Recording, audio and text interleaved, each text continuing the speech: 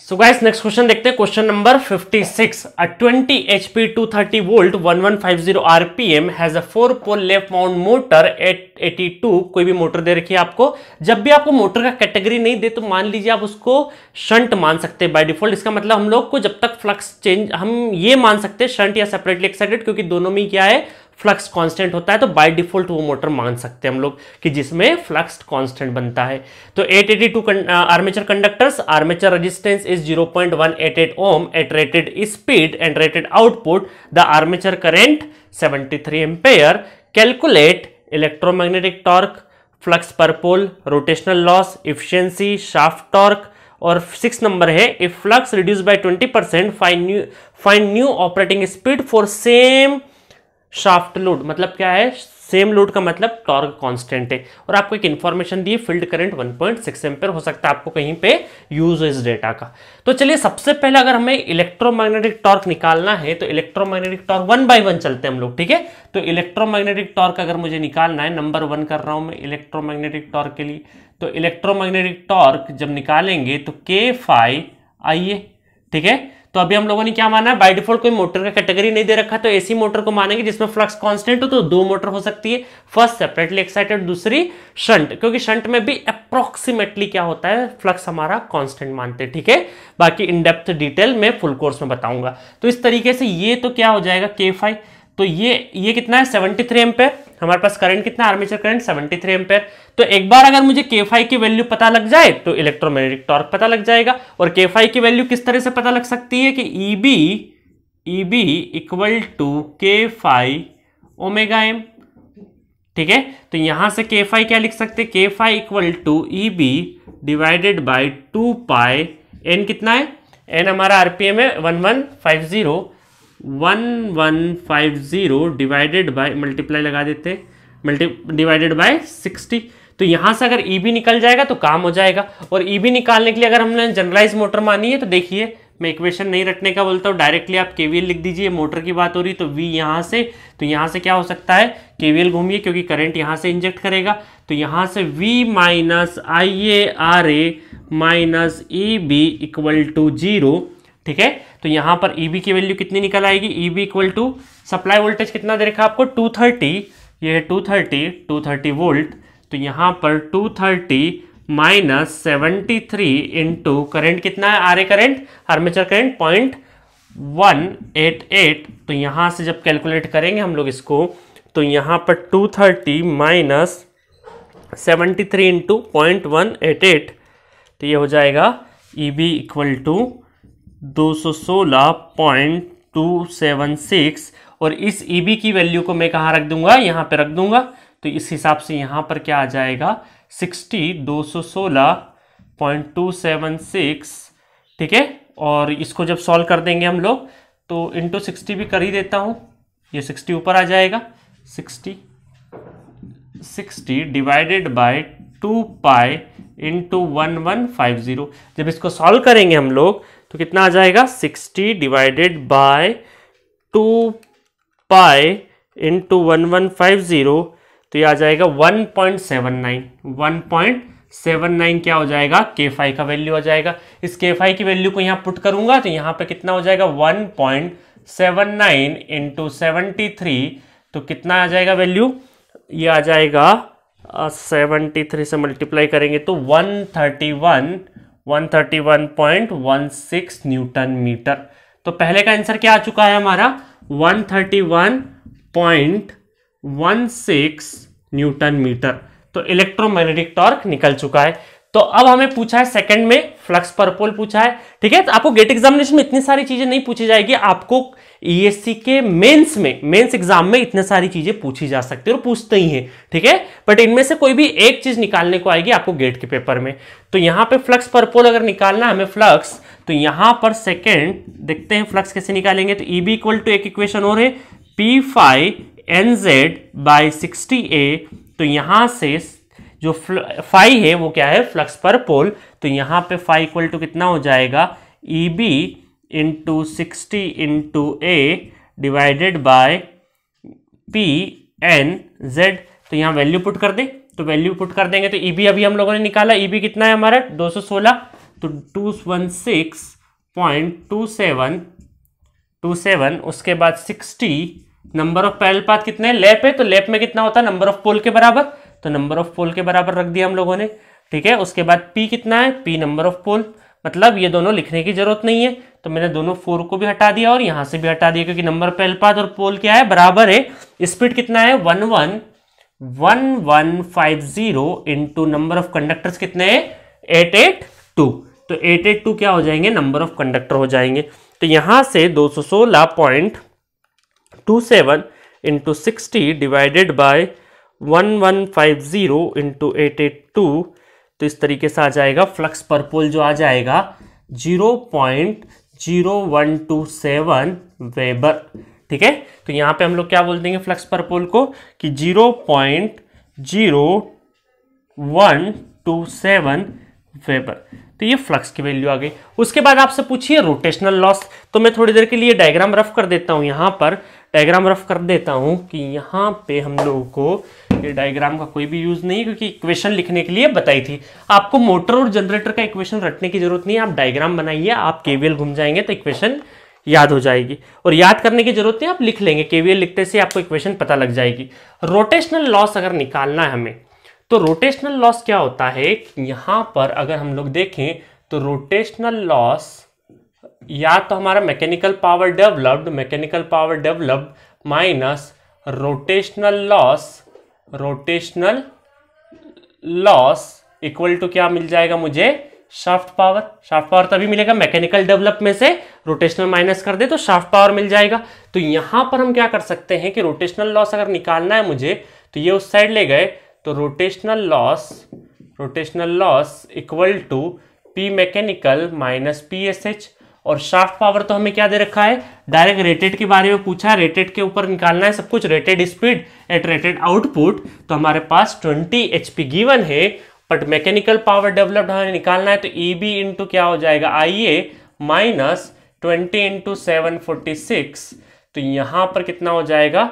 इसमें से अगर हम लोग कर दें तो ई बी कितना हो जाएगा ये हमारा?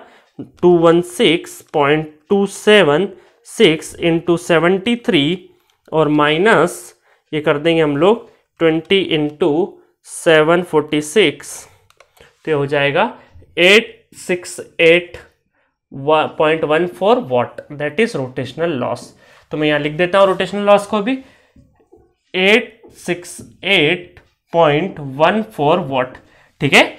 तो मैं इसलिए यहाँ आंसर इसलिए लिख रहा हूँ क्योंकि आप में से बहुत स्टूडेंट्स क्या करेंगे वीडियो को पॉज करेंगे खुद सॉल्व करने की कोशिश करेंगे तो उनके लिए आंसर मैच हो जाए इस वजह से आपको बार बार यहाँ देखना नहीं है आंसर को मैच करने के लिए। डायरेक्ट यहीं पे लिख दिए मैंने ठीक है?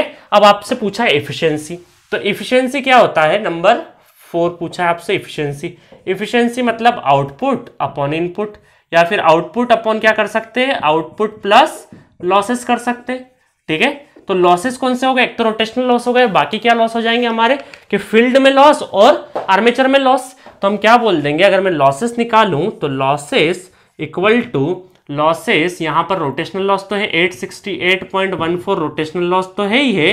Plus I A square armature मतलब 73 का स्क्वेयर इन टू ये वाले लॉस भी होंगे। प्लस अब मान लीजिए फ़ील्ड जो शंट फ़ील्ड या जो भी हमको, क्योंकि मोटर का स्पेसिफिकेशन तो गिवन नहीं है, सिर्फ़ और सिर्फ़ फ़ील्ड करंट अवेलेबल है तो अगर हमारे पास आर एस एच नहीं, अगर शंट मोटर होता तो शंट का रेजिस्टेंस गिवन होता तो हम क्या कर सकते थे कि I F square into R S H करते बट हमें नहीं पता ये सेपरेटली है कि शंट है। मुझे कुछ भी इन्फॉर्मेशन नहीं है। इस वजह से मैं क्या कर दूँगा डायरेक्टली क्योंकि अप्लाई वोल्टेज में क्या कर दूँगा? अभी दो, अगर सेपरेटली होता है दो वोल्टेज अलग अलग अवेलेबल होते बट यहाँ पर एक ही वोल्टेज अवेलेबल है तो इसको मैं शंट मान के क्या बोल सकता हूँ कि two thirty two thirty into two thirty into one point six field का करंट। तो V इंटू आई भी क्या होगा? पावर ही होगा। तो ये हमेशा लॉस में चले जाएगा। तो इतना अगर इसको सबको प्लस कर दे तो seventy three square into point one eight eight plus two thirty into one point six plus eight six eight point one four. ठीक है? वन फोर की जगह वन सेवन हो गया वैसे तो। तो two two two two three eight point zero two two ठीक है पॉइंट वन फोर की जगह मुझसे calcium one point point one seven हो गया गलती से बट मैं बार बार नहीं कर रहा हूँ, आपका टाइम बचाने के लिए आप सॉल्व कर लीजिएगा। अप्रॉक्सीमेटली लॉसेज इतना रहेगा। अगर लॉसेज रहेगा तो इफिशियंसी क्या कर दे हम लोग? आउटपुट हमें पता है आउटपुट कितना हो जाएगा हमारा? Twenty into seven forty six divided by twenty into seven forty six plus losses two two three eight point zero two two ठीक है सेवन फोर्टी सिक्स क्योंकि एचपी को मैंने काय में चेंज किया है? वॉट में चेंज किया है। तो यहाँ पर क्या आ जाएगा? Twenty into seven forty six divided by one four nine two zero plus two two three eight point zero two तो ये आ जाएगी इंटू हंड्रेड परसेंट कर लीजिएगा तो इफिशियंसी आ जाएगी eighty six point nine five percent तो यहाँ पे इफिशियंसी कितना हो जाएगा? 86.95 परसेंट इफिशियंसी आ जाएगी। अब आपसे पूछा है शाफ्ट टॉर्क तो शाफ्ट टॉर्क भी मैं कहाँ निकाल दो? बाकी तो मेरे पास अब जगह नहीं है तो मैं कुछ चीज़ें मैं रफ कर देता हूँ यहाँ से। तो यहाँ पे पहला, दूसरा, तीसरा चीज़ें रफ कर देते हैं, क्योंकि अब यहाँ से हो सकता है बैक ई का काम पड़े हमें। बैक ई का काम पड़ सकता है, ठीक है? तो इतना चीज़ मैं रफ कर देता हूँ इधर से, और ये वाली चीज़ भी मैं यहाँ से रफ कर देता रोटेशनल लॉस का मुझे शायद काम नहीं पड़ेगा अब। ठीक है इफ़िशेंसी का भी मुझे अब काम नहीं पड़ेगा तो ये पूरी चीज़ें मैं रफ कर देता हूँ। ठीक है, तब यहाँ से मैं चालू कर देता हूँ। Fourth number four no fourth not fifth fifth number shaft torque तो शाफ्ट टॉर्क अगर निकालना है मुझे तो शाफ्ट टॉर्क के लिए क्या करना पड़ेगा मुझे? Power shaft power shaft power divided by two pi N by sixty तो ये कितना हो जाएगा shaft power twenty into seven forty six into यहाँ पर sixty divided by two pi into one one five zero ठीक है? तो एक ज़ीरो से एक ज़ीरो चले जाएगा। तो यहाँ पर टू से वन ये भी चले जाएगा। तो कितना हो गया? Seven forty six seven forty six into six और डिवाइडेड बाय डिवाइडेड बाय कितना हो जाएगा? Divided by pi into one one five तो ये हो जाएगा one twenty three one twenty three point nine five newton metre. इसको क्रॉस चेक करने का तरीका बता देता हूँ मैं आपको कि क्या सही है या गलत है। One one twenty three point nine five newton metre.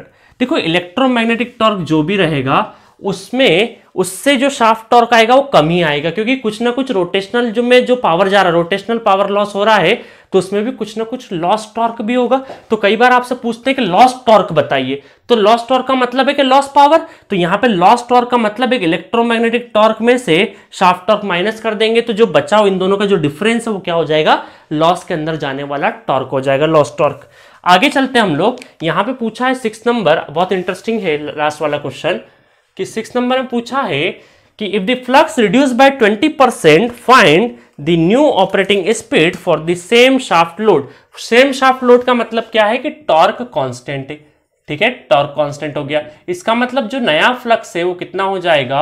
20 percent reduce हो गया तो बचा हुआ कितना है? है ना? 20 परसेंट तो बचा हुआ कितना है? Point eight time eighty percent of five ठीक है? 20 परसेंट रिड्यूस हो चुका है। तो अब यहाँ पर आपसे पूछा है कि find the new operating speed speed पूछिए। तो E B is proportional to क्या हो जाएगा? एन फाइव हो जाएगा। तो यहाँ से क्या बोल सकते हैं हम लोग? E B two divided by E B one E B one equal to N two divided by N one equal to five two divided by five one ठीक है? तो यहाँ पर ई बी टू हमें नहीं पता। ई बी वन पता है हमें? ई बी वन कितना हो जाएगा? टू वन सिक्स और यहाँ पर जब हमारा फ्लक्स अब देखो टॉर्क कांस्टेंट है तो टॉर्क कांस्टेंट की वजह से हम क्या कर सकते हैं? टॉर्क कांस्टेंट की वजह से एक दो चीज़ें और निकल सकती है। तो यहाँ पर मैं वैल्यू पुट कर लेता हूँ ए बी टू नहीं पता ए बी वन कितना है? Two one six point two seven six equal to N two मुझे निकालना है। एन वन कितना है? वन वन फाइव ज़ीरो ये हो जाएगा पॉइंट एट फाइव वन और ये हो जाएगा फाइव वन तो five one five one cancel out तो सिर्फ़ और सिर्फ़ अननोन क्या है? A B two E two निकालने के लिए मैं क्या करूँगा? इसको तो पहले मैं रफ कर देता हूँ, ठीक है? इसको मैं रफ कर दूँगा। तो यहाँ से क्या पता चलेगा मुझे कि अगर टॉर्क कांस्टेंट है और फ्लक्स में चेंज हो रहा है तो मुझे पता है कांस्टेंट टॉर्क का मतलब है, टॉर्क कांस्टेंट का मतलब ये भी कर सकते हैं हम लोग कि टी इज़ प्रोपोर्शनल टू क्या है? फाइव आई ए तो यहाँ पर क्या बोल सकते हैं हम लोग कि five two I A two equal to five one I A one. ठीक है? तो यहाँ पर फाइव आई ए टू कितना हो जाएगा? नया करंट कितना हो जाएगा? कि फाइव वन तो फाइव वन है फाइव टू कितना है हमारा? Point eight times of five one into I A one current कितना है? सेवेंटी थ्री तो यहाँ से मुझे क्या मिलेगा? Seventy three divided by point eight इसका मतलब नया जो करंट है वो क्या है? Ninety one point two five ampere ठीक है? तो नया जो आर्मेचर करंट है वो कितना हो जाएगा? 91.25 इस तरह से वापस से इक्वेशन अगर लिख लें तो यहाँ से V minus I A R A minus E B two equal to zero तो ई बी टू कितना आ जाएगा? यहाँ पे सप्लाई कितना है? 230 minus ninety one point two five into point one eight eight तो यहाँ से ई बी टू आ जाएगा।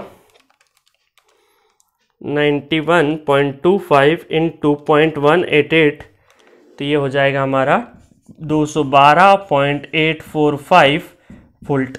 ठीक है तो अब यहाँ पे रख देंगे हम लोग। तो इस तरीके से 212.845 divided by 216.276 equal to N two into point eight divided by one one zero तो एन टू जो निकलेगा, वो देख लेते हैं अभी हम लोग कि 212 डिवाइडेड बाय ठीक है? और into one one five zero divided by point eight तो यहाँ पर स्पीड आ जाएगी one four one four point six nine R P M तो इस तरह से नया स्पीड आपका आ चुका है वन फोर वन फोर तो इसका मतलब क्या हो जाएगा? देखिए गाइस यहाँ पर क्या है? फ्लक्स रिड्यूस हुआ तो स्पीड क्या होगा? कहीं ना कहीं इंक्रीज होगा, क्योंकि यहाँ पर फ्लक्स के साथ भी चीज़ें होगी। ऐसा नहीं कि बिना फ्लक्स की चीज़ें हो जाएगी, ठीक है? तो यहाँ पर जब भी फ्लक्स में कमी आएगी, आप ये देखिए कि E B is proportional to N five तो फाइव में क्या हो जाएगा? जब स्पीड की बात करेंगे हम, सिर्फ़ और सिर्फ़ स्पीड की तो E B divided by five तो फाइव में कमी होगी तो स्पीड कहीं ना कहीं इंक्रीज होगी। तो ये वाली चीज़ यहाँ से प्रूफ भी होती है, और इस तरीके से आपके डीसी के मैंने एक ही प्रॉब्लम में बहुत सारी चीज़ें लेके आपको सारे पैरामीटर्स निकालते सिखा दिए हैं। अब आई होप आप डीसी का कोई सा भी न्यूमेरिकल नहीं छोड़ पाएँगे। और सारे केसेस हम लोगों ने वन बाई चाहे सीरीज़ की बात करें चाहे शंट की बात करें चाहे हम लोग लॉन्ग शंट जनरेटर की बात करें चाहे डिज़ाइन प्रॉब्लम की बात करें एवरीथिंग विल बी कवर्ड आपका सब कुछ कवर हो चुका है। ठीक है? और यहाँ पर आपको आ, क्या करना पड़ेगा? So at this note everything has been covered अब आपका कुछ भी डीसी मशीन में बाकी नहीं हो, चाहे डिज़ाइन प्रॉब्लम की बात करें, चाहे ऑपरेशनल जितने भी प्रॉब्लम्स उनकी बात करें, चाहे सीरी शंट हर चीज़ हम लोगों ने कवर करी है, जो कि गेट एग्जामिनेशन में पूछी जा सकती है। अब बात करते हैं हम लोग कि आप इन क्वेश्चंस को करके जितने भी क्वेश्चंस करे हैं 41 से लगा के आई थिंक 56 16 क्वेश्चंस बनते हैं डीसी मशीन में। इतने क्वेश्चंस अगर आपने कर लिए कॉपी बहुत अच्छी मेंटेन कर ली तो उसमें कॉन्सेप्ट के साथ साथ क्वेश्चन दोनों ही डिस्कस है। इससे बाहर गेट ट्वेंटी का पेपर नहीं जाएगा डीसी मशीन के लिए।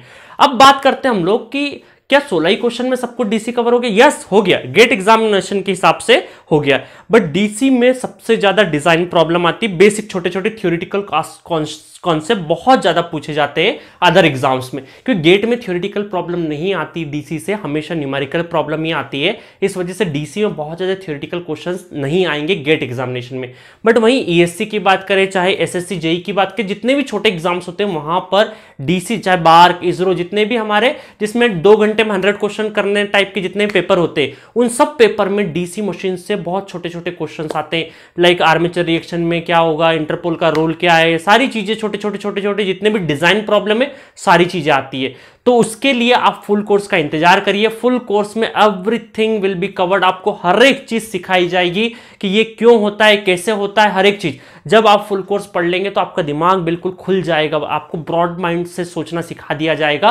क्योंकि अगर मशीन आपका बहुत अच्छा है तो आपका पावर सिस्टम भी बहुत अच्छा है। क्योंकि कहीं ना कहीं मशीन और पावर सिस्टम आगे चल के एक सब्जेक्ट जैसे ट्रीट होते हैं। और पावर इलेक्ट्रॉनिक्स क्या है? That is the application of the machine और पावर सिस्टम तो यहाँ पर जब आपका मशीन या बेस मज़बूत होगा और इस बेस के लिए देखो बार बार मैं क्या लगा रहा हूँ, केवीएल, केसीएल बार बार घूम रहा हूँ तो नेटवर्क का नॉलेज बहुत ज़रूरी है। अगर आपका नेटवर्क स्ट्रांग है तो आप मशीन सीखने में आपको बहुत हेल्प होगा। मशीन में दो चीज़ें चाहिए कि इमेजिनेशन और दूसरा कैलकुलेशन ठीक है? आपके थॉट समझने की क्षमता, क्योंकि आपको जब तक मैं दिखाऊँगा नहीं, क्योंकि आप मशीन को एक एक करके देख नहीं सकते, अंदर जाके नहीं आप पता लगा सकते अभी अपने यूजी लेवल पे कि अंदर की साइड में क्या हो रहा होगा।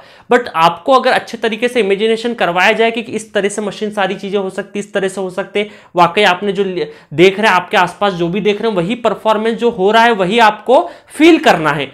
तो अगर हम लोग असली फॉर्म में मशीन देखें, असल फॉर्म में मशीन बहुत सिंपल है बट उसको क्या है, हम लोगों ने कॉम्प्लिकेटेड बना दी इतना कॉम्प्लिकेटेड करने की ज़रूरत नहीं है। एक्चुअली बुक्स में भी क्या होता है कि ऑथर को एग्ज़ाम पॉइंट ऑफ़ व्यू से नहीं, एक पर्टिकुलर चीज़ को देखते हुए नहीं किताब लिखता है, एक बड़े रेंज में देखते हुए किताब लिखता है, इसलिए books are complicated as compare to जो पढ़ाता है। तो यहाँ पर मैं समझाने समझाने की कोशिश करूँगा आपको इनडेप्थ की सारी चीज़ें किस तरह से आपके दिमाग में फिट हो जाए। बड़ी आसानी से। एक बार आप मशीन पढ़ के देखिए प्रॉमिस आपको गारंटी देता हूँ कि बहुत अच्छे से आपके दिमाग में फिट हो जाएगा। आप लाइफ टाइम मुझे याद रखोगे बट वो सब कुछ फुल कोर्स में अवेलेबल हो पाएगा as a time being for GATE twenty aspirants आपके लिए एक छोटा सा तोहफा है, कुछ क्वेश्चंस का, कि जिससे कि आपका रैंक बहुत अच्छा आ जाए, क्योंकि ये machine power system power electronics बहुत ही क्रूशल सब्जेक्ट से आपके रैंक लाने में। ठीक है गाइस ऑल द बेस्ट आप पढ़ते रहिए, मन लगाते रहिए, बिल्कुल डिमोटिवेट नहीं होना है, बिल्कुल अपना आपका सेल्फ बिलीव नहीं खोना है सेल्फ कॉन्फिडेंस नहीं खोना है। आप करके रहेंगे, आप जो पढ़ेंगे वही एग्ज़ाम में आएगा। ये सोच के आप पढ़ाई करिए। Okay then till then bye take care all the best